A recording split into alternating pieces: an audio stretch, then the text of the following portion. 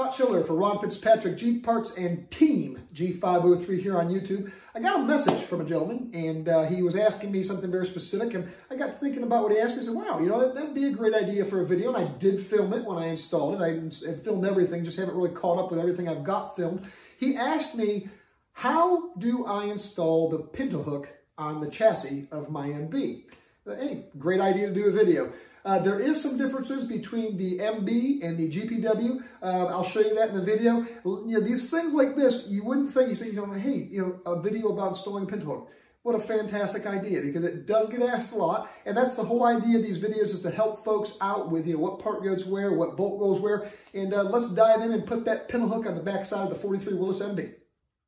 On the back side of the frame, you'll notice these four holes here, and that's where the pintle hook mounts to. But more importantly is this exterior reinforcement for the pintle hook, and that is part number A534. And I'll move the camera up top so you can see how it's fastened to the lower cross member and the rear supports there. As you can see, it's welded on. We've got the actual pintle hook here, and that is part number A593. And I'll show you kind of how this operates. There's a little lever up top that actuates against the cam to lock it shut. And these are these are quite tough to open uh, once they lock down. Very very stout, very very secure. They're cast, very heavy, and that's going to be one of the issues that the gentleman who asked me about this video. He said they're so heavy I can't hold that thing on and line the bolts all up like that. So I'm going to show you some tips and tricks here to make it easy.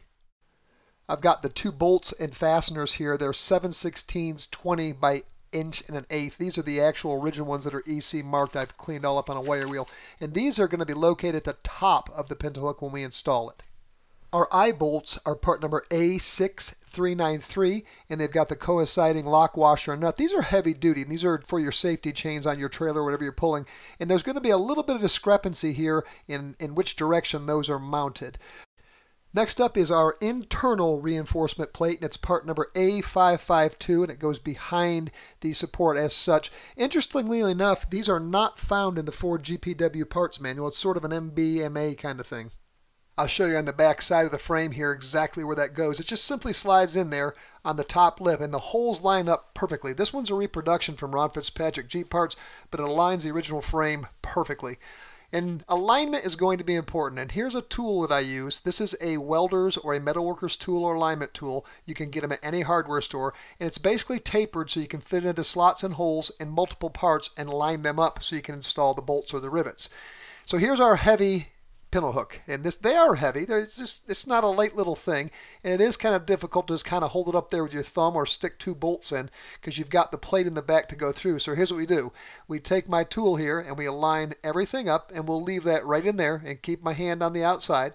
Now I've got one of the bolts ready right here, and it will be easy for me to hold that up with my hand and slide that bolt through both the front hole of the pintle hook, the frame, the reinforcement plate in the rear, and that pin is, is holding that up while I do this. It's really kind of simple but neat thing.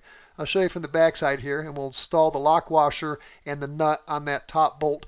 Uh, that tool is, is invaluable when you're installing accessories, especially when you're going through multiple pieces of metal. It really works well for aligning things and keeping things in place when you're working by yourself and you've only got a little bit of space.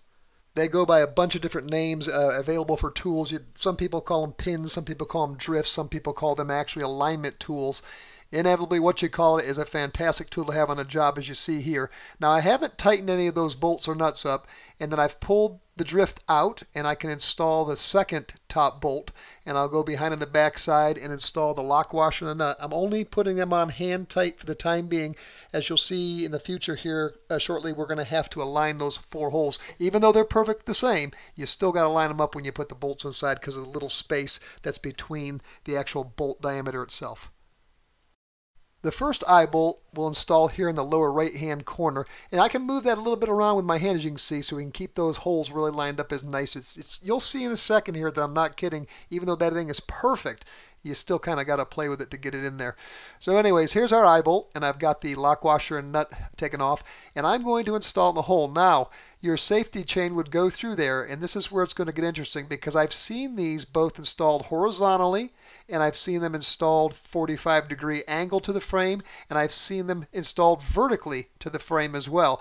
I've seen multiple pictures, and we went through and did a lot of research, and I had a bunch of folks send me pictures with all kind of different uh, variations of those eye bolts in the back. I'm going to go ahead and do them horizontally because that seems to be the most common on the MBs. We'll go ahead and install the lock washer in the back, and check out that heavy duty nut. That's that's really something, and we'll install that on the back. Again, this stuff has to be heavy duty. You're pulling trailers and with a lunette eyes on the back, and the uh, pintle hook's got to stay closed, and those safety chains have got to stay on. So this is this is some heavy duty stuff here. Now, watch here. I, even though I can move it around, I'm trying to get that in there, it just doesn't want to go, and it's only by a little bit.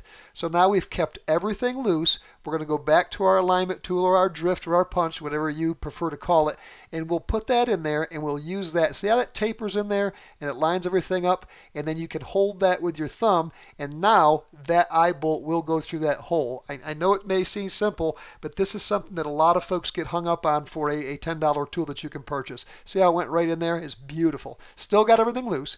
I'll go ahead and put the lock washer and nut on the back side of that uh, eyelet there, and then we'll go and we'll tighten up all the fasteners. Now in searching, I couldn't find any specific torque values for these fasteners. Here again, let me show you this how I'm going to turn this sideways like that. I'm telling you, it's really something how many pictures I've seen. If you don't believe me, look it up for yourself. So uh, back to the torque values. I wasn't able to find any specific torque values in any of the uh, MB manuals. I'm just using a box end open and wrench here on the front, and I am using a half inch drive socket in the rear there. And you want to get these really tight. I mean, I, there's an old mechanic saying about tight is tight, and if you've fastened a bunch of bolts, you kind of know when they're fastened tight or not, but you really do want to get these nice and snug because, again, this is a safety issue. It's going to be pulling a trailer behind your vehicle. And then on the bottom here, I'm going to show you another little trick with our drift or our punch. Uh, I'm going to go ahead and get the nuts tight, and I can do so pretty close just by holding it by hand, and I'm keeping my eyes horizontal there. When I get to the point where it's about to get really tight, I will stick the drift in the side of the hole just as you see me here, and I can use that to hold that in place while I'm tightening uh, finally the nut. And see how you just, that tool, I cannot brag enough about that tool. I think what I'm going to do is uh, go out and have a bunch of G503 punches made like this because I'm telling you, this is one of the best tools you can have in your toolbox. Okay, so we've got everything snugged up here and nice and tight and just give it a one-time go around, make sure everything's snugged up. And I'll take the camera back here and I will show you from the back side uh, how this looks with the lock washers and nuts on the rear reinforcement plate. The last thing I'll do, because I don't want these nice clean bolts rusting up on me, is I'll go ahead and I'll give them a couple light coats with the Barrier 3 Red Oxide Primer from Ron Fitzpatrick Jeep Parts. And I just keep the aerosol cans on hand and use them as I go. I've painted this frame almost a year ago. Um, even though it's been in the garage, the paint will match exactly as it does out of the gallons in the aerosol cans once the primer dries up and it dries really quick and you try that primer you're really going to like it I'll go back through now and I'll give it two or three coats of the 33070 World War II low luster olive drab from RFJP, and it will blend right in. I love this paint. Can't say enough about it. I know I talk a lot about it in the videos. It's because I really believe in it, and I think it's just absolutely fantastic and spot on. Easy to use, easy to apply, dries quickly, and matches perfectly. Uh, you can't say enough about it. Here, we'll take a look here. We're all finished up. Let this dry up, and there you have it. Your pintle hook is installed. Hope you enjoyed it.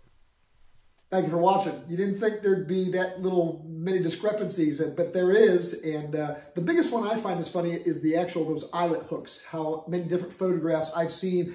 Now, I don't know if they came that way specifically from the factory or if they got changed during wartime or if they got twisted and loosened. I don't know. But as I said in the video, you've got them horizontal on some, vertical on some, at 45 degree angles on some. And I've actually seen them where they've been twisted like this. And we did a lot of looking at pictures. So there you go. That's how you put the pintle hook on the back side of your chassis. Uh, if you'd like to subscribe what we're doing with the 1943 Willys MB and some funny stuff that we do along the way, you can do so by clicking that subscribe button and hit that bell at the bottom also so you can be notified when we uh, release new videos. Until next time, my friends, keep it safe, boom, pintle hook it, and happy jeeping.